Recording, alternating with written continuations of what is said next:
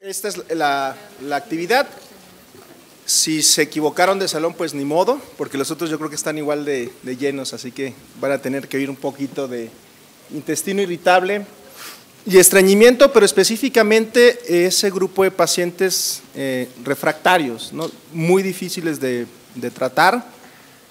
Me parece que la refractariedad en trastornos funcionales digestivos cada vez es más frecuente, tenemos muy claro, por ejemplo, que es un reflujo refractario y tenemos pruebas diagnósticas como la pHimetría e impedancia, pero no tenemos muy claro eh, el qué hacer con estos pacientes que padecen intestino irritable y estreñimiento funcional y, ese es el objetivo de, este taller. Para esto nos acompañan tres eh, excelentes profesores y expertos en el, en el área. Eh, nos acompaña el profesor Magnus Imren, él eh, viene de la Universidad de Gotemburgo en Suecia. Creo que para nosotros es, un honor tener a, alguien como Magnus. Él es, eh, dentro de las múltiples actividades que ha desempeñado, es, ha sido editor de la revista GOT hasta hace poco, ha sido editor de la revista de Neurogastroenterología y Motilidad, secretario de la Unión Europea de Gastroenterología y es un experto en el área. Eh, muchos de los trabajos de FODMAPs que leemos y de probióticos en intestino irritable eh, él es eh, el punto de referencia. Nos acompaña también la doctora Mercedes Amieva, ella es gastroenteróloga con un posgrado en fisiología digestiva en la Universidad Veracruzana y un entrenamiento en la Universidad de Georgia con el doctor Satish Rao. Mercedes es una gente joven que ha mostrado interés en el área y bueno, tiene experiencia también en manejo de estos pacientes. Y el doctor Enrique Cos, conocido por todos ustedes, Enrique es gastroenterólogo de formación, también tiene una subespecialidad en neurogastroenterología y posgrado en fisiología digestiva también en la Universidad de, Georgia. Eh, lo que hemos preparado para, para ahora, en la siguiente hora y media, no son casos clínicos, de repente es muy difícil ajustar nuestras preguntas a ese caso clínico, y lo, que yo he preparado es una serie de, de preguntas de cada una de estas dos este, entidades, tratando de eh, venir con a lo mejor una respuesta a eso que eh, nos complica muchas veces cómo tratar a los pacientes. Siéntanse en la libertad de preguntar, aquí está el, micrófono, yo iré eh, planteando las preguntas y ellos nos irán compartiendo sus respuestas y lo, lo, que nos pueden, lo que nos puede orientar para tratar mejor a estos pacientes. Vamos a empezar con intestino irritable. Y la primera pregunta, que esa es una pregunta que a mí me viene a la mente cuando nos eh, proponen este tema, es, ¿hay una definición para síndrome de intestino irritable refractario? ¿Cómo, cómo lo podemos eh, eh, definir? ¿Hay una definición en Roma? ¿Cuáles son esos criterios? ¿En qué nos basamos para decir que este paciente tiene refractariedad? Y me gustaría empezar con el doctor Simren acerca de eh, ¿Cómo considera usted un paciente refractario a, en intestino irritable? Yeah, oh, sorry, sorry, I woke you up. uh, well, there is no standard definition for that, and there is no uh, generally approved definition for that, and there is nothing within Rome actually that tells us what is refractory IBS. Mainly when we read about refractory IBS in the literature, we mean refractory to standard therapy. And those are the first line options. Let's say loperamide for diarrhea, bulking agents, fiber for, for um, constipation predominant IBS, maybe spasmolytics for pain predominant IBS. And if you don't respond to, let's say, an adequate trial of these, then you may consider yourself ref refractory to standard medical therapy. But most of the time, you also consider that you should try a second option as well uh, to be really considered true refractory. But there is no universal uh, definition for this. Okay. No existe una definición como, como tal y eh, parecería que tendría que fallar esas este, terapias de primera intención. Mercedes, Enrique, ¿esto, ¿esto pasa en México? O sea, ¿nosotros clasificamos en México a estos pacientes como refractario en base a eso? ¿O qué otras cosas nosotros podemos utilizar eh, para definir que este paciente es un paciente refractario? Bueno, algo también importante es la percepción del paciente, ¿no? Entonces, algunos pacientes se consideran ellos mismos refractarios al tratamiento, puede ser algo subjetivo por la expectativas que tienen ellos eh, esperando una respuesta adecuada al tratamiento.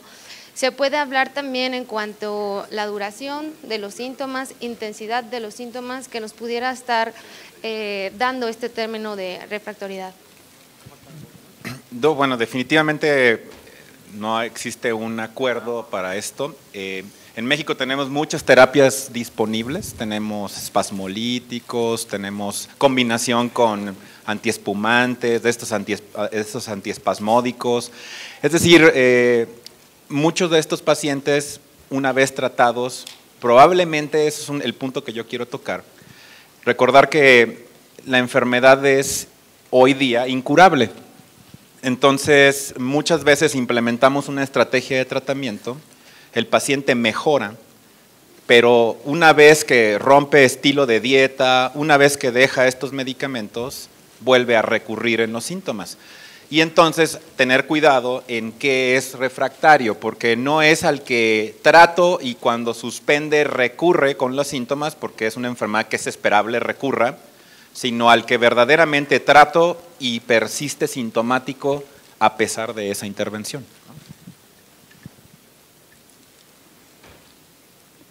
And I would like to add as well, it's, it's of course much more difficult to define refractory when it comes to IBS because we don't have I would we don't, we don't have any treatment that will, that will reduce all the symptoms down to zero, like we have for, for instance, reflux disease, as you alluded to in the beginning, where we have very good response to PPI in the, in the typical patients. Here we have to, of course, also include, I mean, to inform the patients about what they can expect from their treatment. I always tell them that I cannot cure IBS. I can reduce your symptoms with some of the treatment options, but I probably we, we won't take away all the symptoms.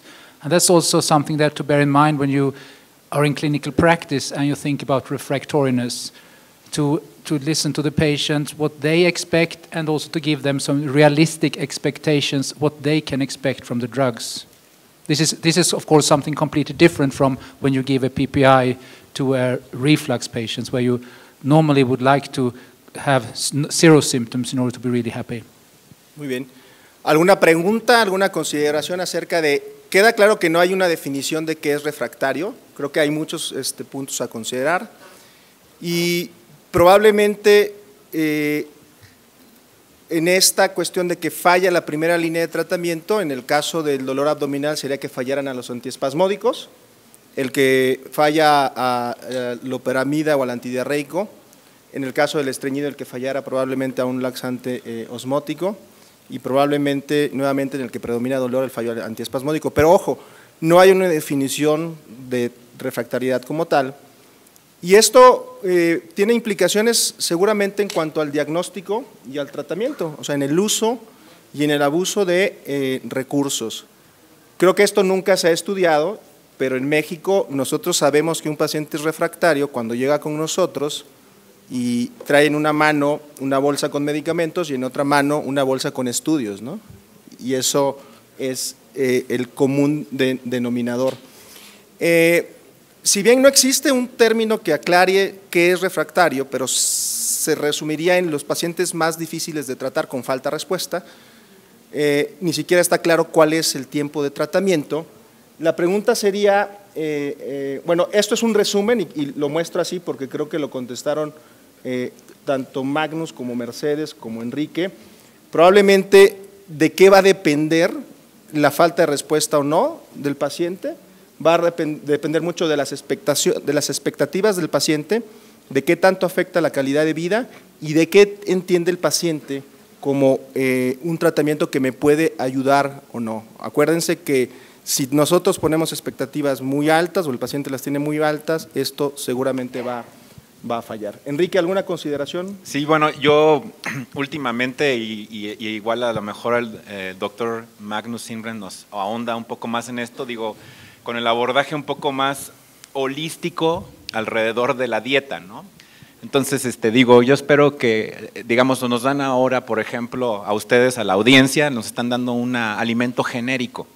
Entonces, eh, creo que muchos de ustedes van a procesar y a tolerar bien este alimento, pero algunos no. Entonces van a dar la culpa al doctor Remes porque él fue el que consideró el box lunch. ¿no? Entonces, él eligió el menú. Entonces, eh, entonces una de estas pues trae alrededor de 13 gramos de fructosa, están comiendo, van a comer un chocolate y entonces al final será una carga que dependerá de cada uno de ustedes el poderlo o no digerir. Y esto es la base para las dietas de FODMAPs, en donde se eliminan algunas y en donde se reintroducen posteriormente para proveer beneficio. Entonces yo creo soy un fiel eh, creyente de que el síndrome de intestino irritable aplica muy bien al dicho de somos lo que comemos y ahí padecemos lo que comemos. Entonces, eh, es muy importante que no existe, yo creo en mi, en mi perspectiva, y eso ahorita lo será de debate, no existe la dieta del sol ni de la luna para el síndrome de intestino irritable, sino que es la dieta del paciente y la que se debe de ajustar a sus necesidades y a sus tolerancias. ¿no? Eso es lo que, no sé si tiene algo que comentar. Uh, I totally agree with uh, the word holistic approach because I think that's very important to, uh, to, do, to have a holistic approach when you meet patients with IBS. We tend to focus quite a lot on drugs when we talk about how to manage patients with IBS, but many patients that come to us are happy if you say they don't need drugs. I mean, there are a substantial proportion of those who really say, I mean, just explanation, have a, have a, a um, safe diagnosis, and some maybe look at some lifestyle factors would be sufficient for many IBS patients. Maybe not the ones who come to, I mean, the ones we are talking about today, about the refractory ones, but many other patients will be satisfied with just explanation and have a name of their diagnosis. This is something that, at least in Europe, we fail with that quite a lot. Uh, we don't give the patient the name of the diagnosis. We say, you don't have cancer, you don't have inflammation, there's nothing wrong with you, bye bye. And then, of course, and then, of course, that, that patient will go to, to, to, to the next doctor, and because he, wants to know, he or she wants to know what they really have. So just to give the patient the name of the diagnosis is very important. I actually think that's part of the treatment. Um, and when it comes to diet, I agree with you that there, there is no universal IBS diet. I think we need to learn much more in the future about how to individualize the diet. Uh, there are some uh, something that we can advise the patient about, and some some some relates to carbohydrates and so forth, but also a lot about how patients eat. To uh, to focus a little bit more on that. And uh, actually, there are now randomized controlled trials between a low FODMAP diet and what we can call traditional IBS dietary advice, which focus more on how people eat than what they eat. And there is actually no difference in these trials. So, a holistic approach and ideally individual approach as well.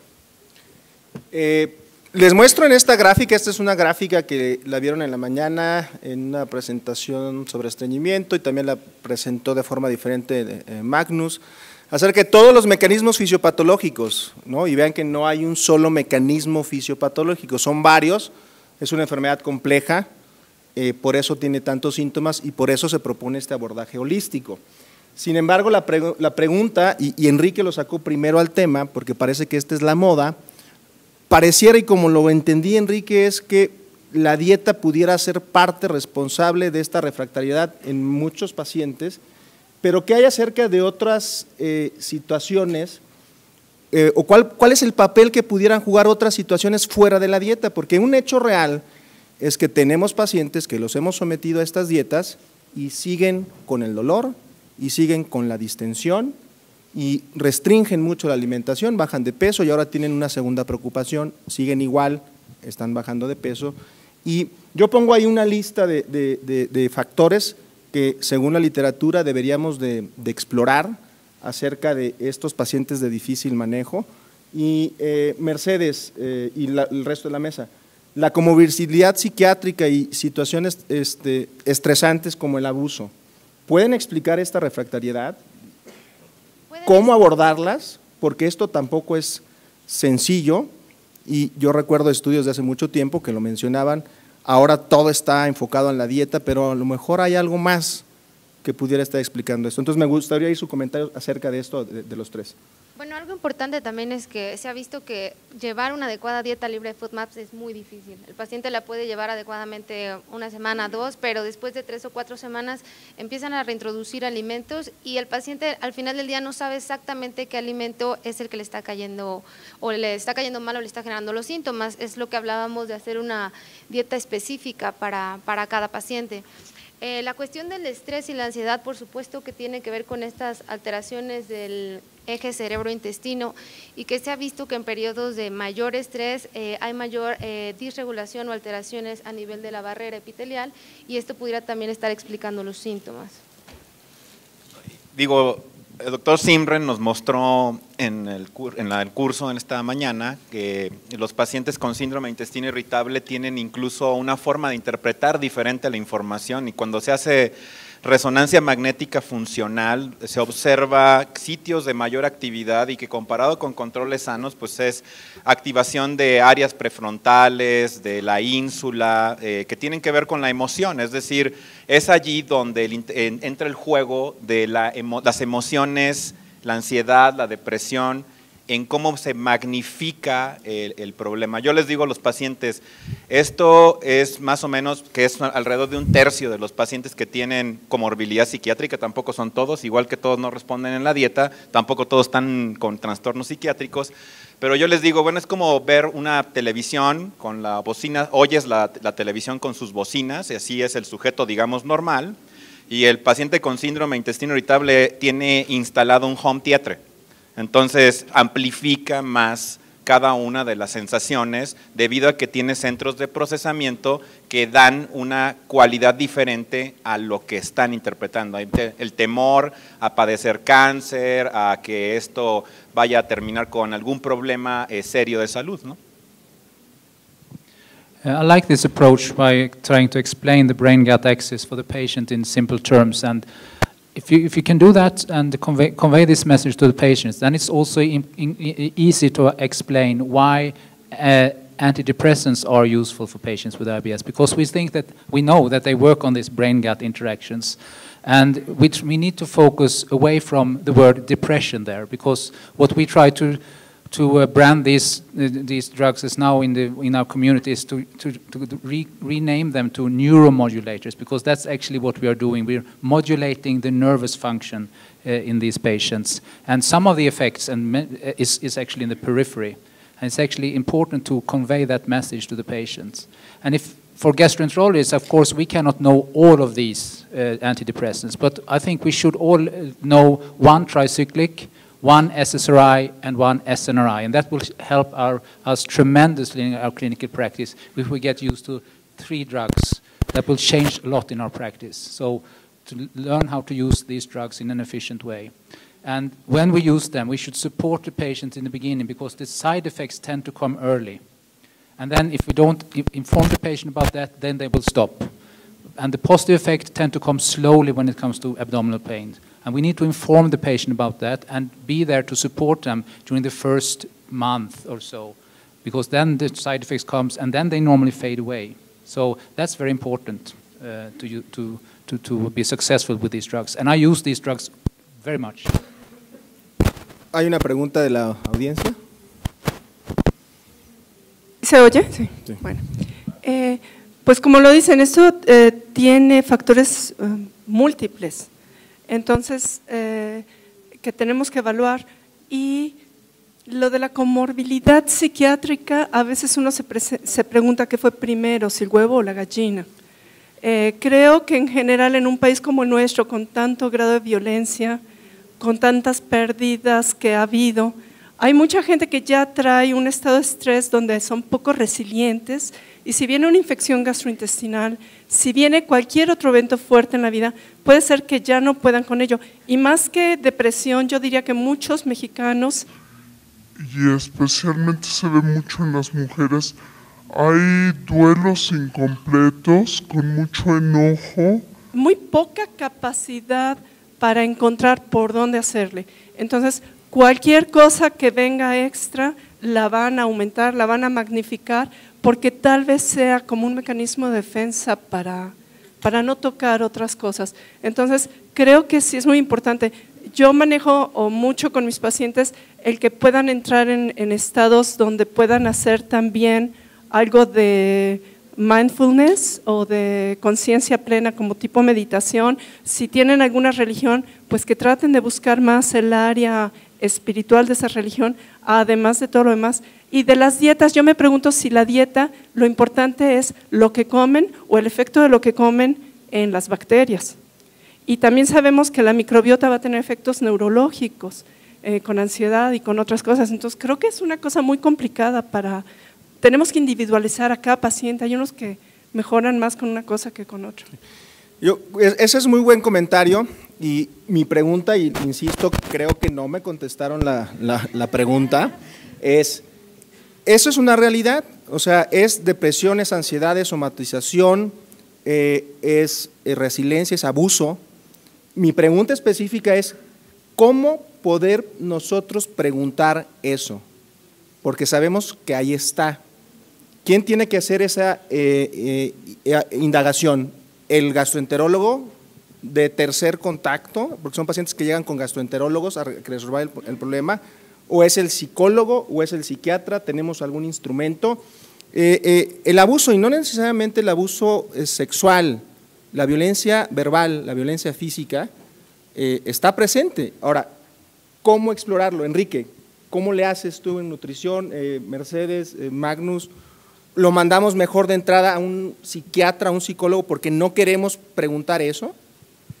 Pues, la verdad es que hay diferentes escenarios para contestarte esa pregunta. La primera, o sea, es el escenario en una institución académica en donde puedes tener acceso a un equipo multidisciplinario que evalúe la esfera psiquiátrica, la esfera, la esfera social, pero sin duda el médico es el que tiene que traer el tema a la, a la mesa.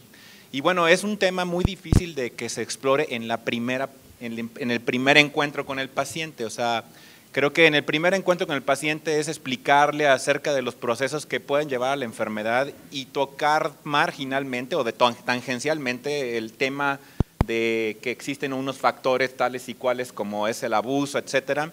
Y probablemente en la segunda entrevista, al ver al paciente de nuevo, pues ya con un poco más de confianza, porque esto se establece la relación médico-paciente se gana, no se hace, y es cuando este, te puedes hacer ese tipo de preguntas, en mi punto de vista, eh, tanto en la institución como en la medicina privada.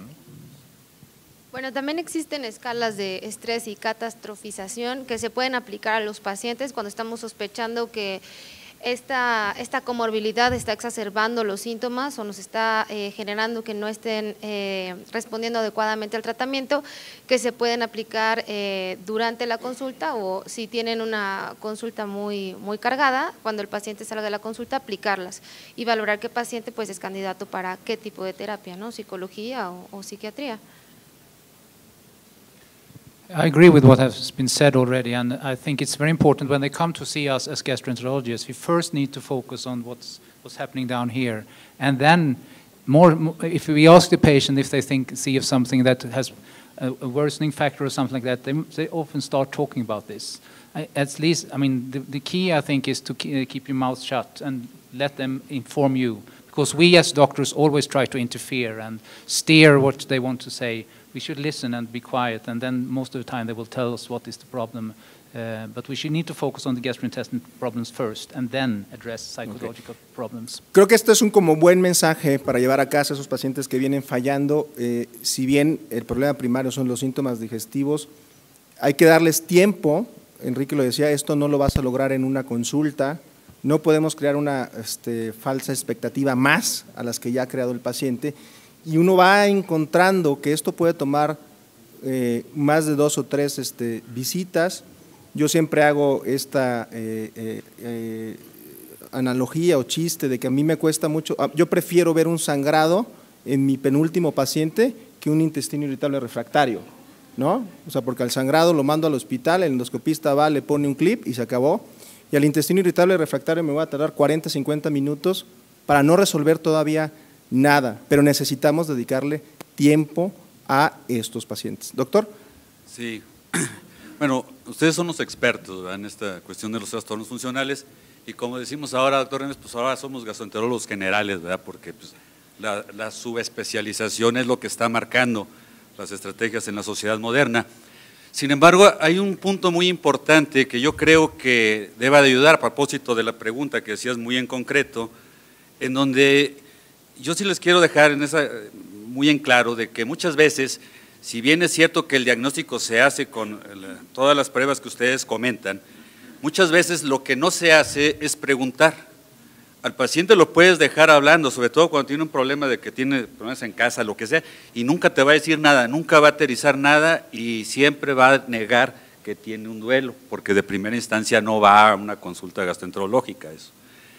Yo creo que lo, importante en esto es lo que es el interrogatorio. O sea, ¿qué es el interrogatorio? ¿Qué es reconocer la ansiedad? ¿Qué es reconocer la depresión? Finalmente, en medicina institucional o en medicina particular, lo tienes que aterrizar. O sea, si te interesa, el problema es este problema psicosocial o es un problema de alimentos.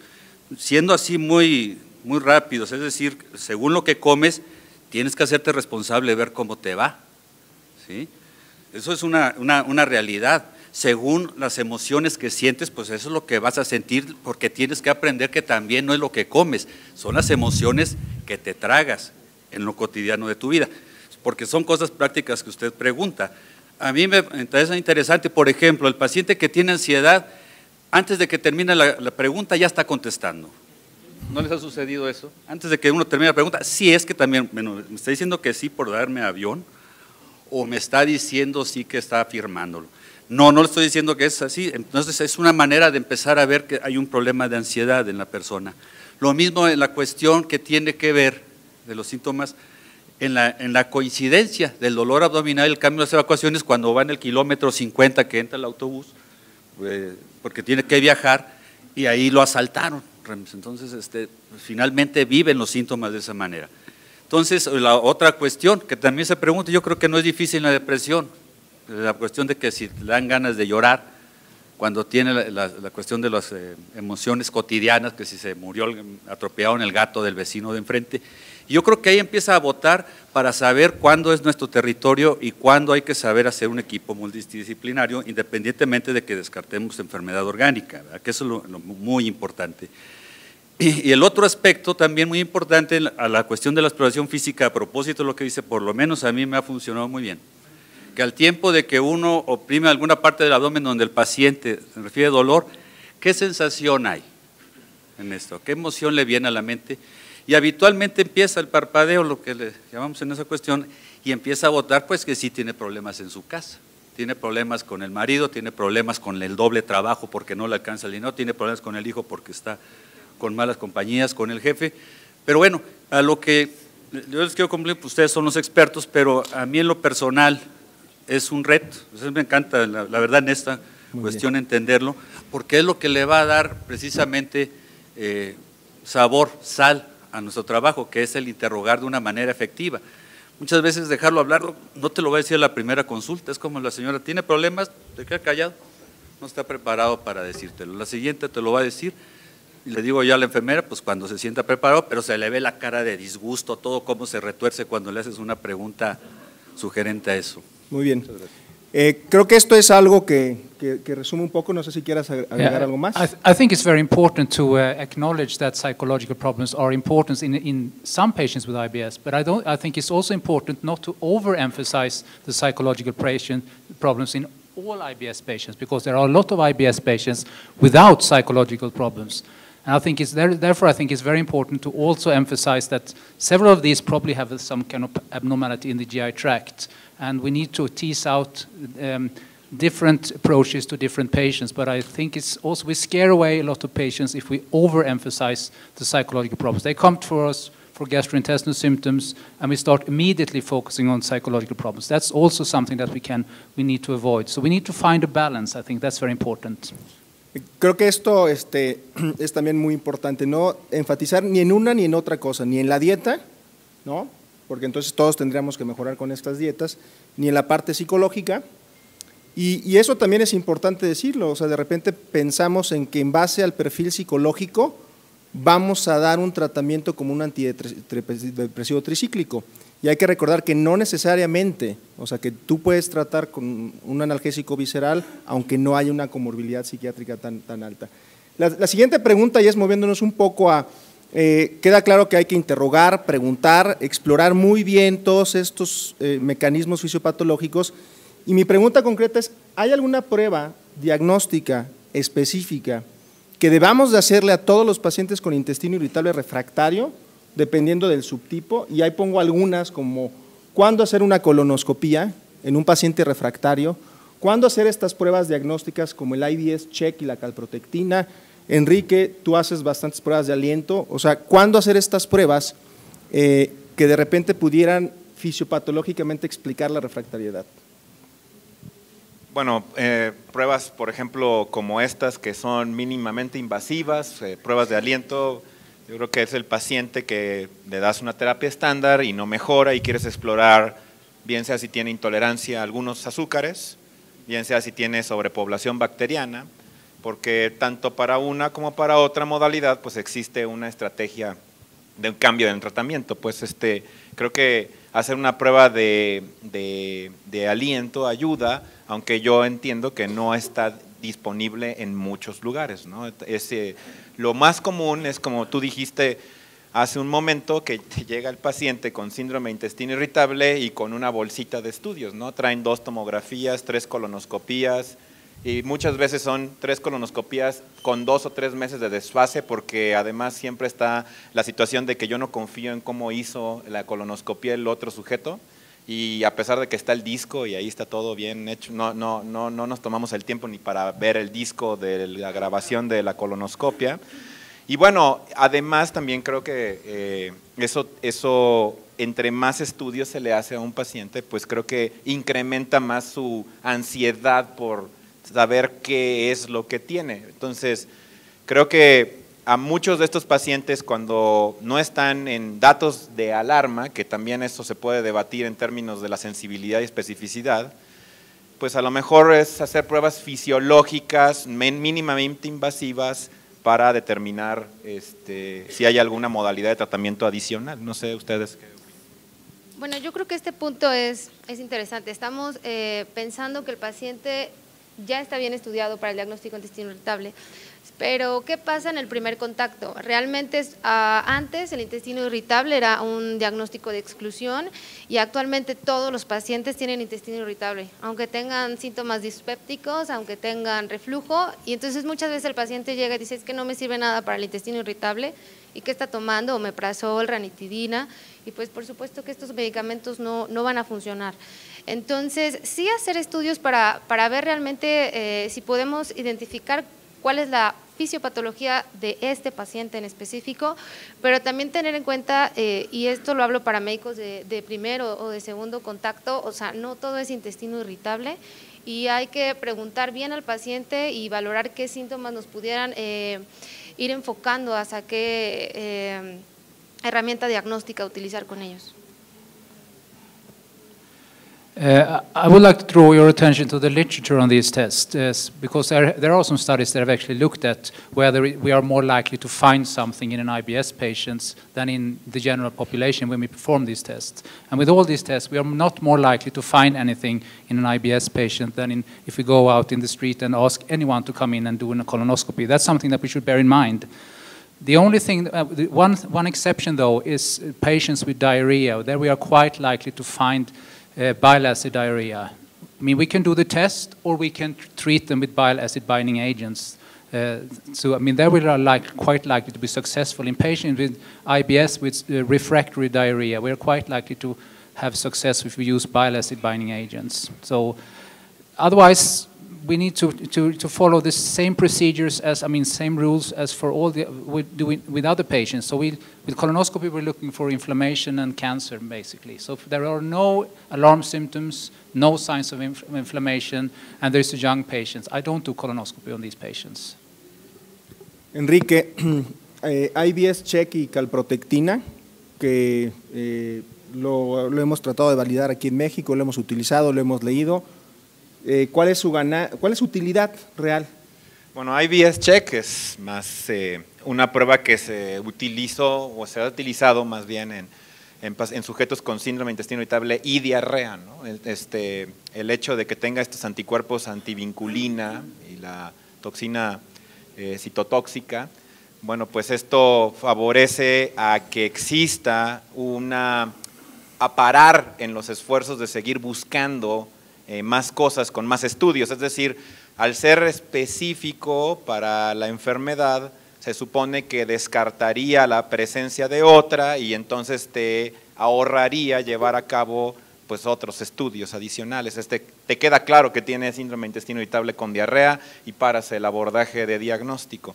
Pero la sensibilidad pues es muy, pues no está en los límites óptimos para poder eh, confirmar a todos los sujetos que tienen síndrome intestino irritable. Es, creo, un buen esfuerzo, probablemente, digo, eh, esta eh, hace rato también se mencionó con el doctor Baldovino, es una pregunta en la sesión de preguntas y respuestas con el doctor Simren, es que va a existir probablemente subgrupos de pacientes con síndrome intestino irritable, entonces estarán aquellos con sobrepoblación bacteriana, estarán aquellos con exceso de sales biliares, estarán aquellos con déficit de sales biliares, es, es eh, digamos, en un futuro próximo, probablemente sí lo alcancemos a ver, es que podamos hacer ordenar de acuerdo al síntoma predominante o el hábito intestinal, pues el tipo de prueba para darnos confianza de lo que tiene el sujeto y poder tratar ese subgrupo en particular. ¿no? Yeah, I think we all would like to have biomarkers, and there are some promising biomarkers now. I mean, we need to evaluate them properly, and hopefully they can help us in the future. I don't know whether you discussed calprotectin. I use that, I mean, in patients with diarrhea to rule out inflammation and if, to, to avoid colonoscopy. That's, that's actually how I use it. Muy bien. Creo que esto reafirma eh, lo que el día de hoy sabemos, que el diagnóstico de síndrome del intestino irritable es un diagnóstico positivo basado en síntomas, ¿no? Y que hacer todas estas pruebas eh, ayudan a descartar organicidad, pero en subgrupos de pacientes muy claros. Coinciden eh, en que el paciente con intestino irritable y diarrea pareciera ser ese subgrupo de pacientes que tenemos que estudiar más. Y ellos mencionaron diarrea por sales biliares, sobreprobación bacteriana, pudiera ser, intolerancias a los carbohidratos, pudiera ser colitis microscópica y enfermedad celíaca, ¿no? es tropical. Entonces, este es un mensaje como importante de esta refractariedad, donde estas condiciones que acabamos de mencionar, de repente no se exploran en estos pacientes que vienen fallando. Probablemente el costo-beneficio en nuestro país se pueda debatir, pero me parece que puede ser útil. Y el otro mensaje importante en esta pregunta, en esta pregunta que, han eh, respondido, es que no existe un biomarcador para intestino irritable el día de hoy. ¿no? Se están buscando, IBS check es uno de esos que todavía tenemos que esperar algunos otros biomarcadores. En estreñimiento, ¿habría algo en el subtipo con estreñimiento? ¿Habría algo que descartar orgánicamente? Porque a mí me parece que los pacientes que llevan más colonoscopías son los pacientes que persisten con el estreñimiento. Y los pacientes con diarrea, cuando se hace la colonoscopia, no se toma la biopsia. Entonces, algo que habría que descartar en el, en el intestino irritable con estreñimiento orgánico. Bueno, tú has hecho, por ejemplo, incluso algunos pacientes eh, con enfermedad celíaca que tienen anticuerpos para también, ¿no? O sea, tienen estreñimiento, no necesariamente tienen, deben de tener diarrea, tienen distensión abdominal, es algo que se puede descartar en sujetos con estreñimiento, no sé si la pregunta va orientada a que ya les hiciste una colonoscopía y no encontraste nada. Si es así, entonces, pues digo, un subgrupo de pacientes con estreñimiento, ahora también con pruebas de aliento, puedes buscar metano, que también esto, pues si está presente, pues es, tiene microbiota metanogénica en el humano, el 90% de esta producción es por Metanobrevibacter smithii, y hay un abordaje propuesto de tratamiento con dual con antibióticos no absorbibles, neomicina, rifaximina, con resultados. Eh, esas son las cosas que se me ocurren. Hay, pacientes que también, por el otro lado, así como hay con exceso de sales biliares, pues hay déficit de llegada de sales biliares. Incluso, digo, muchos de nuestros tratamientos son diatrogénicos. Entonces, hoy día damos un eh, medicamento que inhiba la reabsorción ileal eh, de, sales biliares para que éstas lleguen al colon y den el efecto catártico que éstas tienen. Entonces son, son maneras de, quizás cosas que se tienen que ver puntualmente en pacientes con este problema. La, pregunta la, leíste muy bien porque eh, iba un poco a esto que mencionaron ahora de hay un papel que estamos empezando a conocer que es la disbiosis. Y lo menciona específicamente en metano, porque pareciera que en algunos subgrupos de pacientes eh, con estreñimiento el metano puede tener un papel fundamental. Y en la mañana, en la plática de Magnus, mostró un estudio que me parece muy interesante, donde esos pacientes refractarios, o no, difíciles de tratar o con síntomas más intensos, tienen una firma, tienen como un, como un perfil, ¿no? Y eh, sí me gustaría oír el, comentario al respecto, porque esto abre otro subgrupo de lo, de lo que se ha mencionado. O sea, hay algunos que sí es la dieta, en otros es la ansiedad, en otros es la disbiosis. Parece que se están acercando a la, a la firma de qué, cuál es el perfil de disbiosis en estos pacientes con intensidades o, o, o mayor severidad de síntomas. I think we need to keep uh, research findings apart from what we should do with clinical practice. I think as, as I'm, I'm happy that you like what we are doing uh, when it comes to the research, but I think this it's a little bit too early to to to put that into clinical practice. To um, so I don't measure methane in the clinical practice at this stage, but I hopefully I can do that in the future and to to guide the therapy. Because if I get a, a, a response now today that this patient has this level of methane that doesn't help me in the clinical management. I still use the same kind of drugs. Maybe I can think a little bit about how theoretically you, I should use diet, but I don't think we're there yet. So I think we need to keep the research findings a little bit apart from what we are recommending in clinical practice. But I, I, I think that this is important for the future.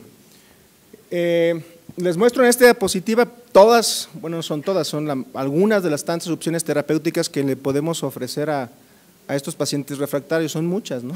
Este, la pregunta muy concreta para eh, los expertos sería, lo han platicado, pero vamos a tratar de, ir este, eh, reafirmando algunos otros conceptos. El papel de la dieta de FODMAPs lo hemos oído y enseguida eh, lo sacamos a discusión porque parece nuevamente que es como, como que está de moda. ¿Cuál es el papel de la dieta en FODMAPs? Rifaximina, probióticos y algunas otras drogas. Para continuar con la discusión de FODMAPs, Enrique, eh, en México sabemos cuál es una dieta de FODMAPs, con FODMAPs, FODMAPs en el mexicano, o sea, con lo que comemos, que es nopal, mole, este, semitas, ¿no? Muchas cosas que no, que no se consumen en otros lados. No, nosotros comemos muchos FODMAPs, o sea, como dieta del mexicano y digo, además es muy variada porque México tiene una diversidad de culinaria muy importante desde Tijuana hasta hasta Mérida, por ejemplo, ¿no? Entonces, eh, aquí mismo muchos van a experimentar en carne propia los efectos de cambiar su dieta. Y, esta, esto que dice José María es totalmente cierto. Las dietas de FODMAPs están basadas en estilos de dieta europea o americana, pero no tenemos dieta FODMAPs mexicana. O sea, ha habido quizás un intento, hay intentos de que se están estandarizando cuáles son los alimentos, qué contenido tiene, por ejemplo, algo de lo que comemos en términos de materiales inabsorbibles, no digeribles o, o azúcares. Entonces no tenemos un pleno conocimiento de qué es una dieta de FODMAPs en nuestra población. Pero seguro comemos muchos FODMAPs, eso sí lo puedo decir. Ustedes han hecho dietas FODMAPs aquí. Mercedes, la experiencia de los estudios en FODMAPs que has realizado allí en, Veracruz, ¿cuál ha sido tu experiencia y, y qué tanto los resultados que vemos en México se parecen a lo que se reporta en otras partes del mundo? Los resultados iniciales son buenos. Sin embargo, eh, como comentaba previamente, el continuar este tipo de dieta es, es difícil para, para, el paciente. Hay actualmente dispositivos, también aplicaciones eh, que pueden bajar eh, tratando de ver qué tipo de dieta pueden llevar y tratar de eliminar eh, alimentos altos en FODMAPs, pero es, es, difícil que el paciente siga paso a paso estas dietas, además del cambio que, que se ve en la, en la microbiota, ¿no? I think it's important to uh, to uh, to view the low FODMAP diet not not as a long-term solution. I see the low FODMAP diet, the exclusion diet, as a, a, way to give the patient a tool to see what what what is the role of the diet. And then you, the, the, first four weeks we really exclude low FODMAPs. But then, as I said this morning, it's very important to help the patient to reintroduce food again, to have a, good diet in the long run, because most patients are not. Uh, sensitive to all different FODMAPs. foods against. Because a low FODMAP diet for years, that's not the solution. We will make many patients very unhappy with that, I think. So that's not the solution. We need to support them also after these four weeks of exclusion diet. in general terms, do you see applicable this diet in the same way in Italy than in France or in Sweden? I think the low FODMAP diet needs to be adapted to each country because we eat so differently in different countries. I mean, we have been taught about the low, low FODMAP diet from Australia, and Australia is different from Sweden, it's different from the US. So we need to find our way to, to deal with it within our country based on the diet that we have in our country. En, en ese mismo sentido, eh, pareciera que uno pudiera cuestionarse si es realmente nada más con la dieta de FODMAPs o esas intervenciones que hacíamos antes de conocer este término, que el médico o el nutriólogo le recomendaba al paciente qué quitar o qué no quitar. Yo recuerdo hace un par de años, el grupo de Magnus mostró que esta intervención de un consejo guiado pudiera ser igual de, efectivo. ¿no? Entonces, no necesariamente tiene que ser esta dieta de, de, de, de FODMAPs, ¿no? Enrique. Sí, no, y, pero algo muy importante es, este, ya lo dijo Magnus, es guiar bien, Guiar. y tú lo acabas de reforzar, porque usualmente una experiencia con muchos nutriólogos, no sé si hay aquí en, el- en la audiencia, es no coma, no coma, no coma, y lo que pasa muchas veces con el paciente con síndrome intestino irritable es que su dieta es muy restringida. Y eso pues debe de impactar también en su microbiota, debe tener una, una microbiota monótona porque siempre come lo mismo. En términos, yo, yo más bien es el incentivar a que coma en cantidades pequeñas otro tipo de alimentos para que de esa manera diversifique también su microbiota, ¿no? Entonces, mensaje de esta intervención para estos pacientes refractarios es que habría que ajustarla a la dieta del mexicano, ese jugo verde que desayunamos muchos de nosotros todas las mañanas, que tiene una gran cantidad de FODMAPs, puede ser el responsable de esta distensión tan difícil de manejar a veces, ¿no? Y guiar al paciente. Esto lo tiene que hacer un especialista, el gastroenterólogo, el nutriólogo, etcétera. Voy a sí, Just one comment. I mean, I, I think it's important to stress that we, we, we should start with a simple advice first, the traditional dietary advice focusing on how patient eats first, without before we jump to low FODMAP diet, because I think, as you said, I mean, that could be just as e- efficient to many patients. Rifaximina y probióticos. Eh, esto también es algo que eh, hemos visto pacientes que definitivamente mejoran, ¿no? Algunos tienden a recurrir, algunos tienen que estar tomando estos ciclos este, constantes. Eh, ¿Cuál sería la mejor indicación el día de hoy para a quién prescribir rifaximina? Y la misma pregunta es aplicable a los probióticos. ¿Cuándo recomendar un probiótico en un paciente eh, con intestino irritable de difícil manejo? Bueno, la rifaximina, sobre todo en aquellos pacientes que tengan sobrecrecimiento bacteriano, es una indicación. Eh, es- importante el tema que usted toca acerca de durante cuánto tiempo lo vamos a estar dando, cada cuánto lo vamos a estar repitiendo, cambios en la microbiota eh, generados por estas mismas intervenciones. Este, en cuanto a los probióticos, como ustedes saben, hay, hay muchas cepas, eh, hay pocas que han demostrado eh, ganancia clínica, hay algunas en específico como Saccharomyces eh, boulardii, que mejora también la, las enzimas digestivas que nos pueden ayudar con estos trastornos eh, de distensión abdominal o intolerancia a ciertos carbohidratos. La experiencia en Europa con rifaximina, ¿ustedes tienen rifaximina? Uh, unfortunately, we, in Sweden we don't have, uh, it's not approved for, for IBS rifaximin. We have it only for hepatic encephalopathy. That's the only approved indication in Sweden. So I, I don't have many, a large experience with rifaximin. I mean, but reading the studies, I mean, of course you can try if a patient has bloating predominance, diarrhea predominance, and is refractory to the standard treatment, but you shouldn't expect too much of an uh, effect of a placebo. That's the problem with that drug. I think it's 9% of a placebo, so it's marginal. And, And when it comes to probiotics, I think that my patient would kill me if, if I give them a probiotic when they come to me because they all tried all the different probiotics. And I, then I, if I said, why don't you try the 11th probiotic, then, then, then they would just leave the room. So I think it's, it's useful maybe for the mild patients in, in community practices, but in the secondaries or tertiary care centers, I think there is little room for, for probiotics. I mean, you should ask if they tried it or not, but most of them have tried it. It's so common today, so. Okay. Enrique, ¿algo que quieras agregar?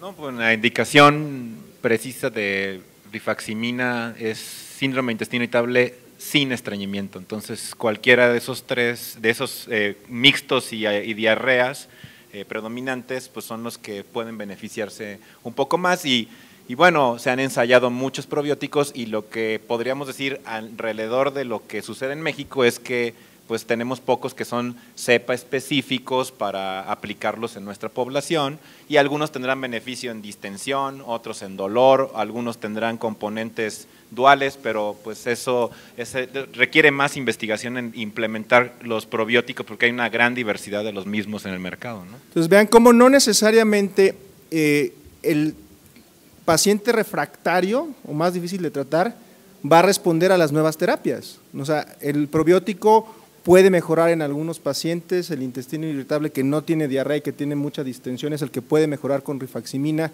y los números necesarios a tratar pues van entre 10 u 11, o sea, uno de cada 10, uno de cada 11 va, va, va a mejorar. Eh, linaclotide, Enrique, linaclotida, que es un fármaco aprobado para intestino irritable y para estreñimiento, nosotros hemos construido nuestra experiencia. Este es el fármaco para ese paciente con intestino irritable refractario, bueno, tienes un paciente que ya le diste las terapias, eh, digamos, habituales, un osmótico, un antiespasmódico con antiespumante, etcétera, y no mejora, pues sí es un fármaco en síndrome intestino irritable con estreñimiento, ¿no? Eh, puede proveer alivio global, es decir, distensión, dolor y mejoría de los hábitos intestinales o aumento de la frecuencia de las evacuaciones. Y luego ya te puedo yo decir que entonces si falla la inaclotida, entonces es, más, es refractario ahora la inaclotida. Entonces hay, hay cosas que, o sea, eh, eh, va a ser, eh, el paciente que es refractario a una terapia puede ser refractario a la siguiente también. Y hay que seleccionar, nosotros lo que vimos ahora en, estas, en esta casuística que llevamos a la Semana Nacional, a la DW de este año, pues es que es la selección adecuada del paciente para que tenga beneficio, no es el fármaco para todo el intestino irritable con estreñimiento, sino aquel que tiene quizás en, el subanálisis que se hizo de esos estudios, se observó que el que tiene más sintomatología en términos de dolor y distensión, pues son los que mejor responden, que en comparación del que tiene menos dolor, muy poca infrecuencia de las evacuaciones y muy poca distensión abdominal. Entonces creo que sirve, sí es bueno, pero no es pues, un fármaco para todos. ¿no? no es un fármaco para todos. ¿no? Este es un fármaco que eh, definitivamente la mayor utilidad es en el grupo con estreñimiento. Lo menciona Enrique porque cuando revisamos la casística en México encontramos una alta prevalencia de diarrea, que es el efecto secundario del fármaco, eh, prevalencias que pueden ir desde el 5% en un centro hasta 30% en otro centro. Y cuando revisamos cuál era el problema, era la definición. O sea, algunos pacientes eran mixtos, pero cuando llegan conmigo están estreñidos, entonces yo los trato como estreñidos y entonces tienen, tienen diarrea. Y eh, la experiencia en, Europa con linaclotide eh, respecto a diarrea y eficacia. Yeah, it's, I mean that might be a problem, but I mean as, you say, it's dep depending on how you define your patient when they come to you as well. So you need to make sure that they really have constipation predominant IBS. And I think you made a very important point this morning that, I mean, the effect, something that you should bear in mind when you treat this patient, that the effect on the bowel habit comes more or less immediately, whereas the effect on pain can, I mean, it can take up to six to, as, as long as up to 12 weeks before we have the uh, maximum effect of abdominal bloating and pain. And that's something to bear in mind when you yeah. use them. I think este that's es, important. Este es un punto muy importante en estos pacientes refractarios. Si ustedes que quieren valorar, y es lo que acaba de mencionar Magnus, la eficacia sobre dolor y distensión, habría que esperar de cuatro hasta seis semanas. Porque la respuesta sobre eh, las evacuaciones es inmediata, pero la, eh, el efecto antinociceptivo puede tomar eh, más tiempo. Y en ese esperar, Enrique, Tú lo mencionabas aquí, y esto es peculiar de México, tenemos una gran cantidad de antiespasmódicos. Nos los preguntan, nos los preguntan los pacientes, nos los preguntan los médicos. ¿Y podríamos combinar estos nuevos fármacos? O sea, podríamos combinar antiespasmódicos con linaclotide, antiespasmódicos con prucaloprida, o sea, porque esto es parte también del refractario, ¿no? O sea, ya vienen tomando múltiples medicamentos y entonces empezamos a combinar sin evidencia. ¿Lo hacemos y cuál es tu experiencia con esto? No, bueno, pues este, yo creo que aquí aplica el dicho de todo es posible en la paz, o sea, se puede, de que se puede, se puede, eh, pero el grado de evidencia de las combinaciones pues es bajo. En estos estudios del inaclotide se incluyeron pacientes que estuvieran tomando medicación estable, digamos, algunas semanas previos a la aleatorización, incluyendo antidepresivos, incluyendo eh, algunos antiespasmódicos, aunque bueno, no hay muchos en donde se hicieron estos estudios, entonces la aplicabilidad es, si nosotros queremos prescribir con base a la evidencia, pues la realidad es que no existe evidencia y de posibilidades de hacerlo, pues sí lo tenemos y yo estoy seguro que muchos aquí en la audiencia han combinado este u otro tratamiento. Ah, cuando ah, llegan a un centro terciario de, de, de estudio y, llega el paciente y ya no es el concepto de refractario en el primer nivel, sino ahora realmente es un refractario. Y tú sabes, podemos tener pacientes con estreñimiento, por ejemplo, que utilizan no una, sino hasta cuatro modalidades de tratamiento que nunca se han ensayado juntas, o sea, linaclotida, prucaloprida, bisacodilo y algún laxante osmótico y apenas van al baño. Entonces, eh, después de que se descarta problemas del piso pélvico. Entonces, eh, esas son las circunstancias en donde eh, te ves enfrascado en la posibilidad de, sí, lo puedes combinar, pero no hay, no hay evidencia. Otra cosa importante es que en el espectro del síndrome intestino irritable pueden ser diferentes síntomas y que en algún momento de la evaluación el síntoma predominante sea dolor, en algún otro momento sea distensión y entonces también enfocarse al síntoma que en el momento el paciente pudiera estar presentando para darle en ese momento la, terapia indicada. Tomás. Sí, eh, creo que también parte importante de la refractoriedad y eso porque generalmente nos llegan ya pacientes que fueron vistos por médicos generales, por cirujanos, etcétera, es el interrogatorio. O sea, para el paciente muchas veces estreñimiento no es, no es la frecuencia, o sea, ir menos de tres veces a la semana a evacuar, sino el pujo o el tenesmo.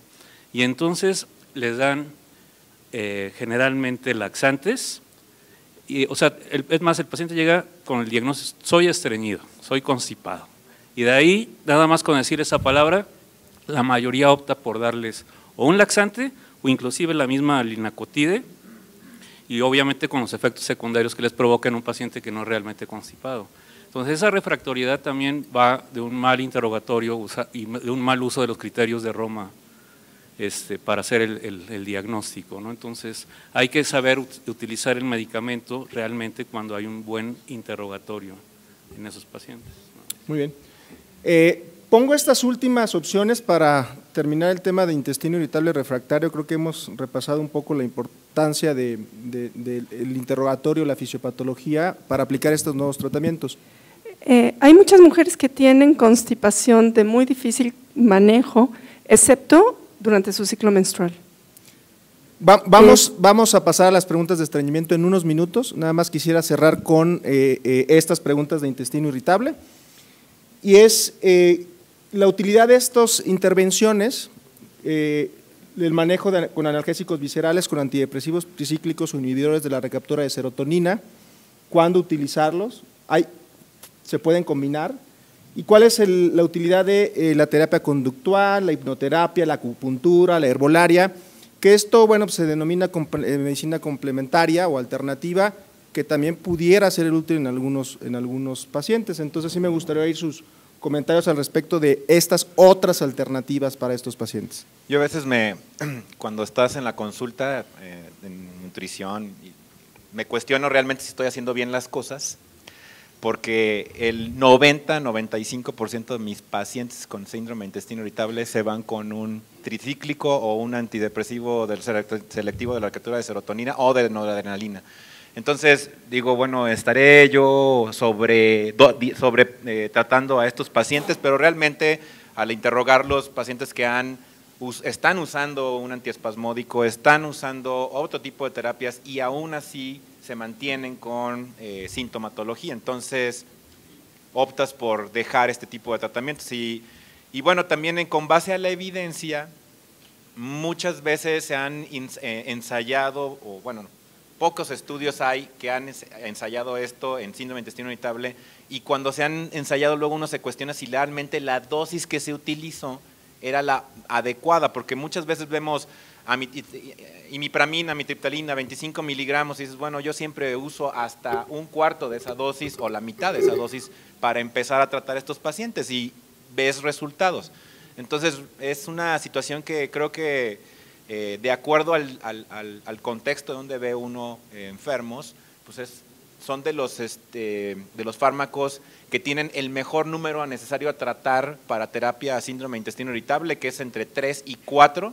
Entonces, realmente yo creo que ni un antiespasmódico, ni linaclotida, ni ningún otro fármaco tiene ese número necesario a tratar. Entonces, son altamente efectivos y lo que decía hace un momento el doctor Simren es, hay que ir de la mano con el paciente para que no abandonen el tratamiento pues, por los efectos adversos. ¿no? hipnoterapia y acupuntura. Yes, I agree. I mean, I think we should be more familiar with these drugs, and I, I, find them very effective in many patients, but we need to support the patient in the beginning when we use them. And there are typical patients where you use the tricyclics versus the SSRI and versus the SNRIs. The typical patient for the tri tricyclic is a patient with uh, a lot of abdominal pain, not so much depression, and also tendency towards diarrhea. That's the typical patient there, and also ideally some sleeping disturbance as well, because we give them to, to the night. So that's the, the, typical patient for a TCA. For an SSRI, there you have uh, IBS symptoms in combinations with anxiety and depression, because SSRIs are not so effective against pain as the other as, as TCAs and SNRIs. The SNRIs are used for patients with refractory pain combined with depression. So those are the typical patients that I use, use these drugs for. Hypnotherapy, I mean, it's, it's not widely available. We have hypnotherapy in our unit, and it's quite useful, and we are now trying to explore other ways to use it. So we're using group hypnotherapy. Uh, with, we hypnotize eight patients at the same time, uh, and it's been just as effective as individual hypnotherapy. And now we are also exploring to use the internet to, uh, to also to uh, use hypnotherapy there. There, are, there is a group in Sweden also who uses internet to cognitive behavioral therapy, and they have fantastic results. So I think that's the way to spread these treatments to a, a, larger group of patients in the future, because we cannot do that on an individual basis 12 times for each patient.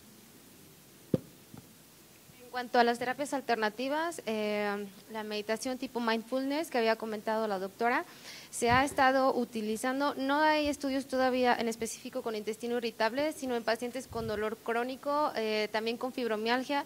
Se ha visto que modula la percepción de, del dolor con estudios a nivel de resonancia magnética y recientemente están eh, habiendo estudios acerca de marcadores inflamatorios en cuanto el mindfulness también pudiera regular estos, este tipo de inflamación.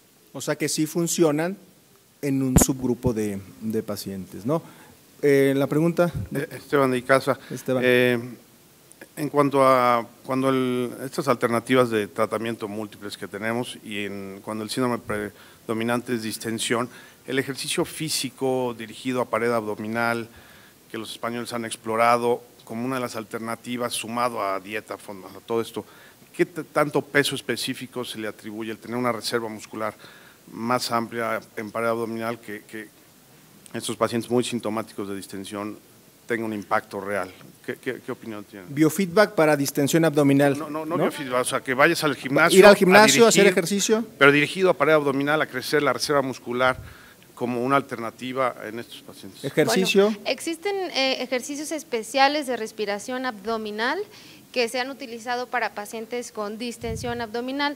Eh, recientemente en la DW llevaron un, un trabajo. Eh, en que hacían ejercicios respiratorios, igual como para los cantantes de ópera, tratar de mejorar eh, a nivel eh, de los músculos del diafragma y de la presión abdominal y reportan cierto grado de mejoría, pero no hay mucha evidencia respecto a estos ejercicios de respiración abdominal. Yo quisiera tomar un poquito de ventaja de que aquí está Elizabeth. Barba y que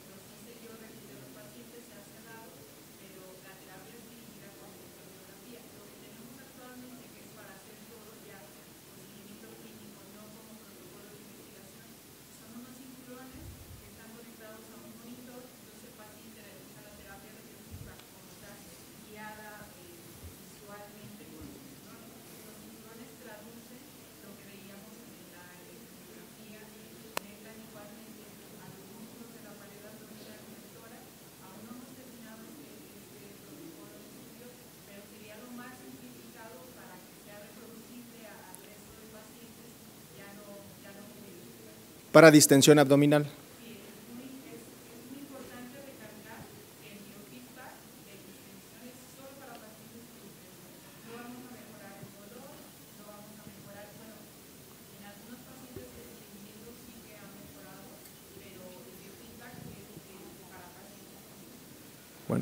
Muy bien. Entonces, esta es otra opción que se está explorando con ensayos clínicos muy bien realizados y que seguramente la aplicabilidad clínica la esperamos pronto.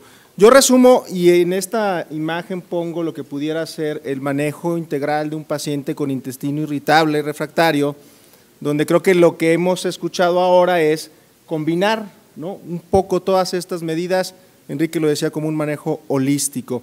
Voy a pasar rápido a esta última media hora que tenemos para ajustarnos al tiempo y hacer un abordaje muy similar a lo que hicimos con intestino irritable. Probablemente muchas cosas ya las han respondido, pero nuevamente partir de la base cómo definimos, no intestino irritable, acuérdense que intestino irritable es basado en el dolor, esto que se denomina estreñimiento refractario. ¿Es refractario, es intratable, es resistente, es no respondedor? es considerar de entrada que vamos a hacer otras terapias. Hay una definición, Enrique, de intestino irritable refractario. Perdón, de estreñimiento, refractario, pues, perdón, estreñimiento refractario. Casi se ajusta mucho a lo que acabamos de mencionar al principio con síndrome de intestino irritable. Realmente no está totalmente consensuada qué es refractario, y te digo, es refractario a la primera línea de tratamiento, a la segunda línea de tratamiento o a la tercera línea de tratamiento de acuerdo a la disponibilidad de fármacos en la región en donde uno trabaja, etcétera. O sea, es, es, es, muy difícil aceptar una definición de qué es refractario en mi punto de vista. No sé si Magnus siempre. No, there is no, I mean, for clinical practice, there is no standard definition. But in clinical trials, most often you, you say that you should have failed at least one, most often two laxatives in order to be called refractory and be included for the treatment uh, treatment trials for the let's say for prucalopride, for instance. That's the, the definitions used there. So it's a little bit similar like we use for refractory IBS, refractory to standard treatment. Es, es por lo menos en estreñimiento refractario hay algo un poco más concreto que es que por lo menos fallen a uno o dos de los tratamientos convencionales y se deberá de incluir ahí a los laxantes osmóticos. O sea, que esté fallando un laxante osmótico, lo mencionó Magnus, es de los pocos estudios que utilizan esta definición, es un ensayo donde probaron prucaloprida y la definición de estreñimiento refractario fue que fallaran a un tratamiento con laxantes osmóticos, polietilenglicol o lactulosa, por lo menos en un periodo de cuatro semanas, pareciera que esto pudiera ser la refractariedad. Los factores que intervienen en la fisiopatología, eh, Tomás lo mencionó, se adelantó, o sea, la definición del paciente, o sea, ¿qué entendemos por estreñimiento? Las falsas expectativas, el abuso y algunas otras consideraciones. Yo pongo ahí algunas eh, situaciones, marco ahí el estreñimiento inducido por opioides, que eh, nos debería hacer pensar en estreñimientos secundarios. Eh, ¿Qué otras cosas o qué pudieran comentar al respecto de estas causas de estreñimiento refractario? Ahí es donde entra la pregunta de endometriosis, pudiera ser el caso, o estas mujeres que nada más en el periodo menstrual es cuando mejoran eh, eh, la evacuación. ¿Qué otras cosas pudieran estar explicando esta refractariedad desde el punto de vista fisiopatológico? Bueno, es importante eh, para que podamos hablar de refractarios en un paciente que esté bien estudiado, ¿no? que hayamos descartado tránsito intestinal lento, que hayamos descartado disinergia. Entonces, para que podamos hablar realmente de un paciente eh, con estreñimiento refractario, es un paciente que ya lo estudiamos y hay herramientas como la manometría colónica que nos puede ayudar a identificar realmente a estos pacientes con estreñimiento refractario. Yo, yo digo, tomando de nuevo lo que es las falsas expectativas y ya lo he dicho en otros foros, a lo mejor es Opus 25, pero creo que hay algo que yo denomino estreñimiento social. Y esto se refiere a que el papá y la mamá van diario al baño, el hijo va tres o cuatro veces a la semana, pero si le preguntas si se siente bien, el, niño se siente bien. Pero el papá y la mamá quieren que vaya a evacuar todos los días después de desayunar. Entonces, eso hace una concepción en una persona eh, acerca de que está estreñido y han llegado al consultorio, seguramente les han llegado a ustedes, estoy estreñido. Ah, sí, ¿Te cuesta trabajo hacer? No. ¿Pujas mucho? No. ¿Te quedas insatisfecho? No. Y entonces es que mi papá dice que tengo que ir diario y voy cuatro veces a la semana. Entonces eso es una parte, digo, lo tomo en este momento por cuestiones de que puede ser en la expectativa del paciente algo que curse hacia, la, hacia que te lleve a ser refractario, o sea, nunca se mejora el paciente, ¿no? Es, esa, en esa concepción a lo que quería orientar. y, Pareciera entonces que en México nuestra definición por parte de los pacientes es que tienen que ir al baño después de comer, ¿no? O sea, esto es lo que en México la mayor parte de los pacientes tienen. Para ser mexicano, no, para ser mexicano hay que ser guadalupano, irle a la selección mexicana e ir tres veces al baño, ¿no? Eso es lo que nos dice Enrique, ¿no? Y eso crea falsas expectativas y eso es bien importante. En, en Suecia, ¿cuál es eh, el, mejor o el cuál es el síntoma que con mayor frecuencia refiere el paciente refractario? ¿Es la frecuencia como en México? I, I, think that's that's. I mean, it differs between different Swedish patients. I think. I mean, and I, I, agree with your point that you need to ask the patient why, what, what is your problem, and how do you see it, and what's what's why is it problematic to you. I don't think there is, a, from a patient point of view, a universal definition of this constipation means so many different things to different patients, and they complain of different things. Some, some related to frequency, some about hard stools, difficult to pass, some of them more to straining and so forth. So you need to re really put the question back to the patient and ask them what they think is the problem for them and how we can help them with that. Uh, I don't think uh, Swedes expect to go to the toilet three times a day. we are quite good with soccer now. We're qualified for the World yeah. Championship, just like you did. we beat we beat Italy, which is great. Yeah. Uh, but we, and we don't pray so much as you do here either. So well, there are some differences between Swedes and uh, Mexicans. Eh, y eh, la, la, otra cuestión que, que bueno, va a preguntar algo, pues si quiere. También entre un grupo de mujeres jóvenes es frecuente que digan que están constipadas porque quisieran evacuar más para no aumentar de peso o no verse panzonas. Eso también es muy importante en términos de hay alguna como hay que y eso te lleva a veces a buscar pues problemas como anorexia nervosa y ese tipo de situaciones. Eh, en pacientes con estreñimiento se ve bastante frecuente. Y bueno, tú no vas a dejar mentir, Chema, que quizá infrecuencia no es el síntoma más frecuente en México, valga la redundancia. Yo creo que es más insatisfacción o evacuaciones incompletas, pujo excesivo, que seguramente otros de los síntomas. Eh, esto es bien importante, lo, lo sacó eh, a la colación Tomás, porque de esto va a depender si mi intervención va a ser eficaz o no. Y creo que una de las cosas que se aprendieron con esta diferente forma de definir estreñimiento entre el paciente y el médico es los nuevos fármacos se están evaluando con parámetros más estrictos. Uno es algo objetivo, que es la frecuencia, pero otro que es muy importante es las evacuaciones espontáneas completas, ¿no? que la evacuación sea satisfactoria. Y creo que esto no se pregunta o no se evalúa de primera instancia. Este, una, pregunta. Eh, en el norte del país, al menos en Monterrey, tienen mucho auge estas clínicas de lavados colónicos. Y entonces las venden y cada vez los pacientes van y acuden más a estos centros. ¿Qué opinión tienen de estas? Digo, yo sé que no está estandarizado, pero bueno, vale la pena mencionarlo, ¿no? Nosotros lo tocamos. ¿Con, granos de café? Con granos, de, café o sin café. Eh, en el consenso mexicano, que es el de síndrome de intestino irritable, donde el estreñimiento, se, que está por publicarse, bueno, se hace la recomendación de la Asociación Mexicana de Gastroenterología es no debe de realizarse en lavados colónicos. Digo, más allá de eso, incluso utilizarlos de manera rutinaria en un paciente que no fueran aromáticos, ni térmicos, ni nada, que también se han encontrado, che macho, colonoscopías y ha visto quemado el colon por este tipo de terapias, ¿no? Eh, y la otra es este, que no es, lo, no es lo natural ir a evacuar de esa manera, igual que ponerse un, un supositorio para ir a evacuar es, tampoco es natural. Entonces puede resolver el problema, pero no transitoriamente, pero no de raíz. Entonces eso es algo de lo que también debemos de qué terapias ha usado y entonces, bueno, hasta ponerlo en la perspectiva de que puede ser un problema eh, para su salud, ¿no? Implementar ese tipo de cosas. I think for many of these patients, it's, it's, it's uh, very important to, to explain a little bit in simple terms about the normal physiology Uh, I think that often helps. And also explain what is the normal stool frequency in the society, and that's the wide range there.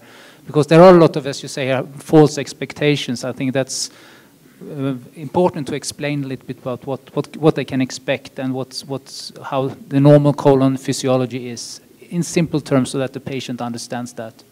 Sí, y es muy interesante porque pareciera a nosotros o para los pacientes que el tener que llegar a ponerse hasta lavados colónicos es prácticamente son refractarios.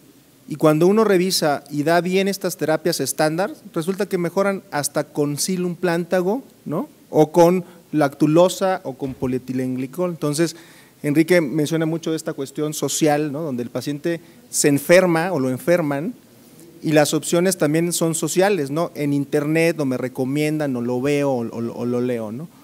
Mercedes mencionó hace rato que habría que hacer algunas pruebas y eso nos llevaría a que dentro del estreñimiento refractario, que no responde a estos laxantes convencionales, debemos de hacer pruebas diagnósticas. Y de todas estas pruebas diagnósticas, ¿cuándo, eh, Enrique, Mercedes, Magnus, hacemos estas pruebas? ¿Cuáles? Y sobre todo, ¿para qué? Entonces yo pongo ahí un menú de pruebas ¿Cuáles serían como las mínimas indispensables para hacerle a estos pacientes? Bueno, primero que nada es súper importante la, la, historia clínica y seguido de la historia clínica el tacto rectal. Un buen tacto rectal te puede hacer sospechar si el paciente tiene disinergia, si tiene pujo excesivo, puedes valorar si hay algún prolapso, si tiene antecedente de enfermedad hemorroidal. Entonces, el que tú hagas un buen tacto rectal, también evalúes sensibilidad, eso te puede ayudar a qué herramienta vas a utilizar, porque todas estas herramientas eh, no están disponibles en, en, toda la República, solamente en algunos centros, y si se va a mandar algún paciente a, estas, a estos estudios, lo más importante es una buena historia clínica, un buen tacto rectal que nos vaya orientando hacia qué tipo de prueba podemos ir solicitando. ¿Y para qué? Eh, después de que haces el tacto rectal y decides hacer una prueba, es ¿qué me va a cambiar? Si me pareciera que el paciente tiene disinergia de piso pélvico eh, por tacto rectal, eh, lo ideal es hacer una manometría no rectal con prueba de expulsión de balón.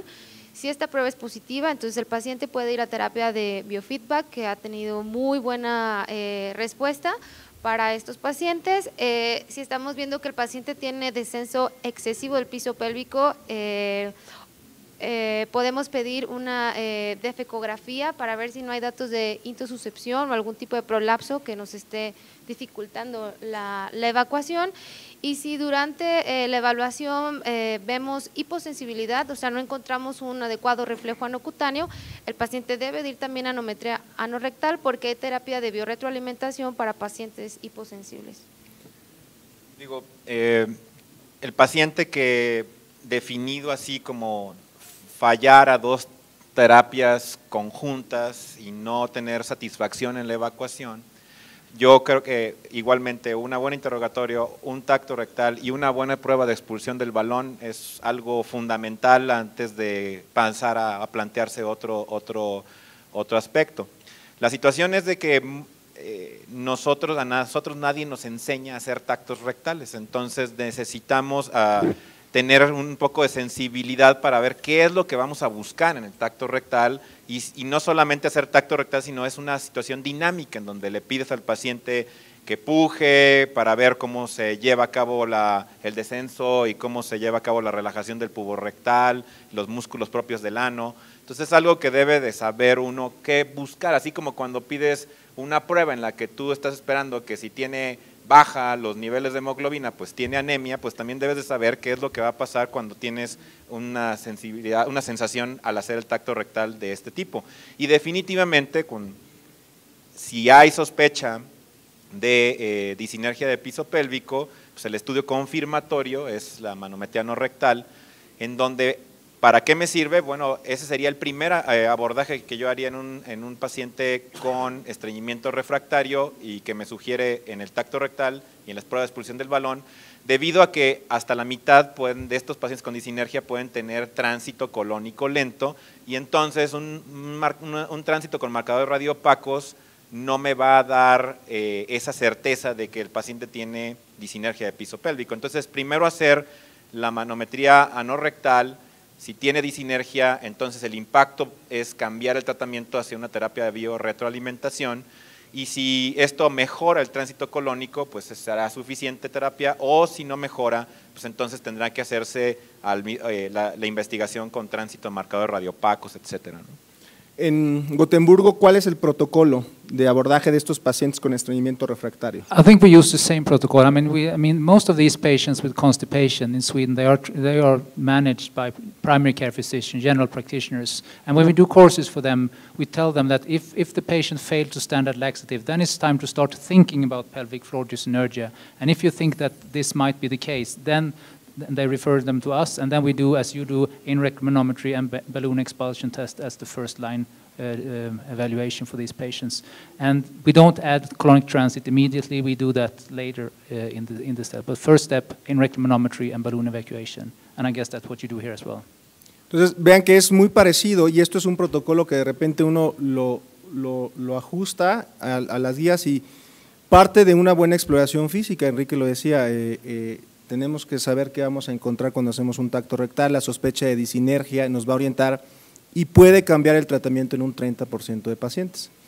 Eh, en esos pacientes donde hay sospecha de inercia colónica, eh, ¿qué es mejor? Es eh, los marcadores radiopacos, que es una prueba barata disponible, necesitamos el Smart Pill que ahora estamos este, utilizando con fines de, de investigación, o ante la ausencia de disinergia, optar por un tratamiento empírico para el manejo de inercia colónica con estas nuevas drogas. ¿Qué, sería práctico para, para, llevar a casa? Yo sí optaría por hacer eh, un tránsito colónico con marcadores radiopacos. Eh, las cápsulas se encuentran en, disponibles en el mercado. Eh, el estudio realmente no es muy caro, son realizar las radiografías eh, en los tiempos y la ingesta de las cápsulas. Y si vemos que el problema no es eh, a nivel de piso pélvico y el paciente tiene un tránsito colónico lento, entonces optimizar el tratamiento o los medicamentos que nos puedan mejorar el tránsito intestinal. Okay. ¿Algún comentario acerca de cómo evaluar el tránsito colónico? Agreement between Mexico and Sweden again. We okay. do exactly the same as you do. RadioPack markers is the first line option. Smart pill only for research at this time. Okay. Creo que hay un gran acuerdo ¿no? entre lo que hacemos en México y lo que hacemos en, en, Suecia. Esperemos no encontrarnos en el Mundial, porque entonces el acuerdo se va a romper. Este, pero creo que es muy importante. De repente eh, nosotros tenemos ese sentimiento de que estamos un poco aislados de lo que se hace en otras partes del mundo y la verdad es que no lo hacemos diferentes. El no tener la accesibilidad al recurso tampoco es excluyente de que podamos pensar, referir a nuestros pacientes o hacer algunas otras pruebas. Digo, ya lo hemos eh, platicado en algunos eh, contextos. ¿Qué es inercia colónica? Porque digamos que muchas veces se utiliza como sinónimo de estreñimiento de tránsito lento, pero también es el contexto. Yo estoy seguro que nosotros podemos tener conceptualizado de que inercia colónica, tránsito colónico lento pero le preguntas al cirujano que hace colectomías y entonces puede tener una concepción un poquito diferente y, yo lo veo como el de estreñimiento de tránsito lento y el extremo, la inercia colónica, en donde es una disfunción completa del colon, un colon que no sirve, un colon que debe ser removido. un término, es separado decir tránsito colónico lento o inercia colónica, ¿es lo mismo o eh, es un sinónimo? I tend to use them as synonyms actually. Eh, lo mencionamos y se comentó en la mañana acerca de esta cuestión de dar este diagnóstico de inercia colónica. De pronto lo que dice Enrique es que prácticamente estamos ya diciéndole al paciente que es un colon que no se mueve y que va a ir a una colectomía. Yo tenía algún maestro en cirugía que decía, este, pues la indicación de colectomía es el que se deje operar, ¿no? Y si se va a dejar operar, pues ese es mi criterio.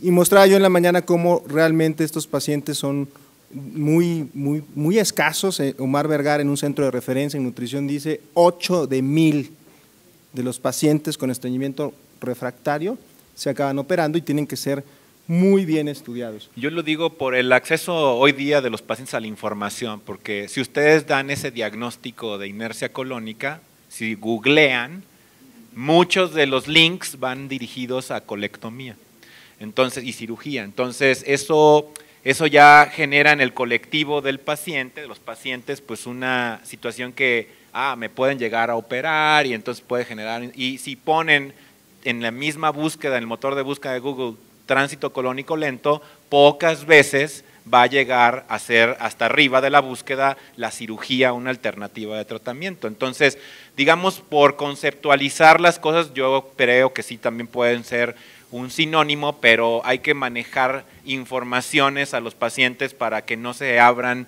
pues, más brechas en sus dudas aún. ¿no? Hay dos, dos temas que, que, a, mí me gustaría comentar este, por, por saber lo que opinan ustedes. Uno es, se ven pacientes en provincia por lo menos que han usado en forma crónica, a veces 3, 5 y hasta 20 años, laxantes estimulantes que van aumentando la dosis, sobre todo senócidos, pero también fenoftaleína. Y así como hay cefalea por analgésicos, hay constipación por este tipo de medicamentos y cómo destetarlas de ellos. Y número dos, la constipación del anciano.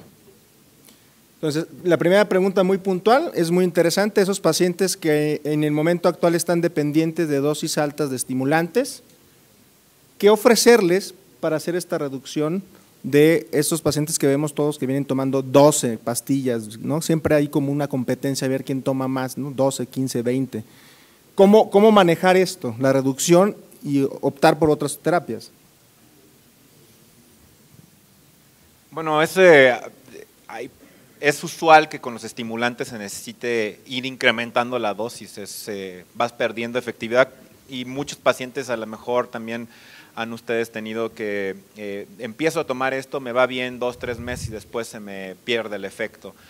Y cuando llegan a ese extremo, bueno, llamamos un colon catártico, ¿no? y, lo que necesitas es rehabilitar. Muchas veces estos pacientes no han tomado terapias efectivas, secretagogos, eh, procinéticos, y lo que vas haciendo es no suspenderlos jamás de forma súbita, ni decirle, estás mal, está tomando los mal, etcétera, sino que empiezas a implementar las otras estrategias de tratamiento y vas destetando gradualmente el uso. te bajas, si estaba en 12 tabletas de bisacodilo, la bajas a 11 una semana, a 10 otra semana, lo que se vaya dejando el paciente. Por eso es un proceso gradual.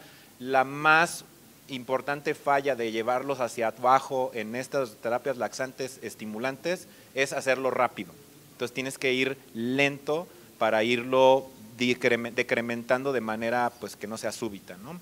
Este, eh, no sé si quieres hacer un comentario.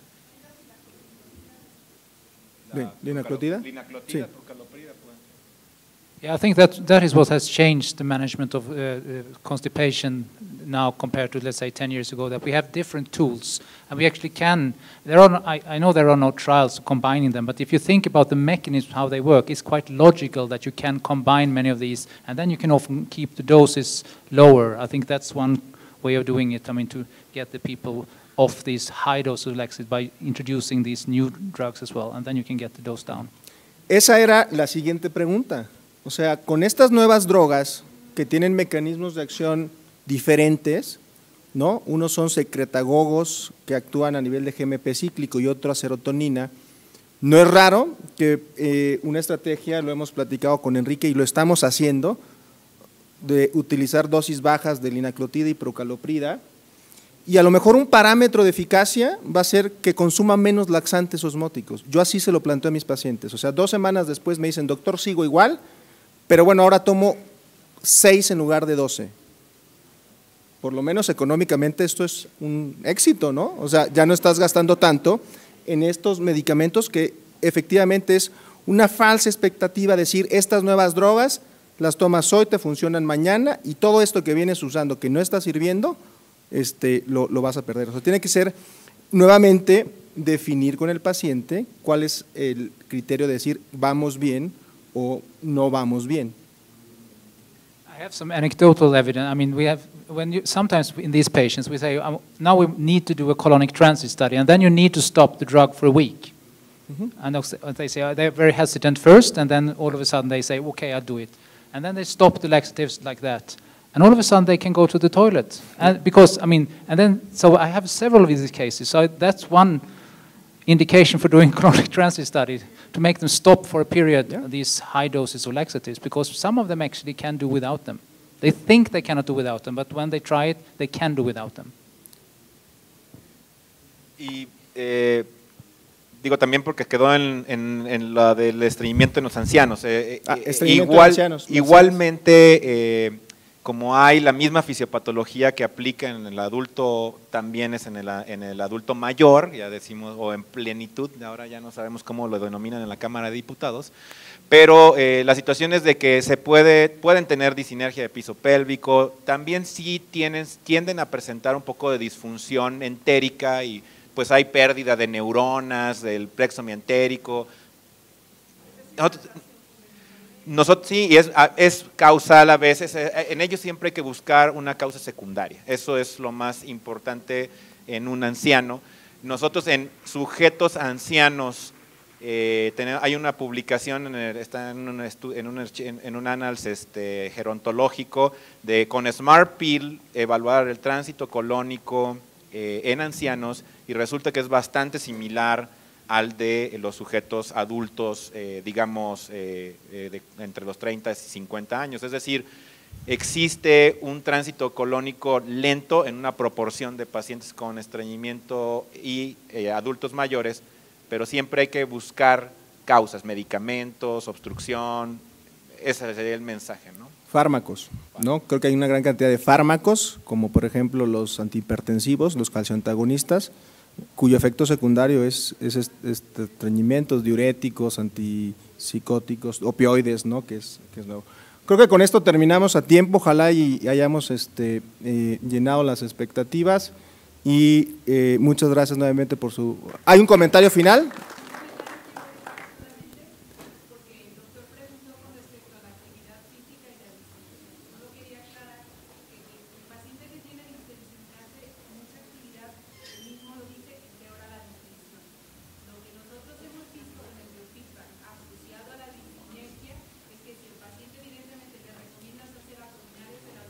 Va a tener.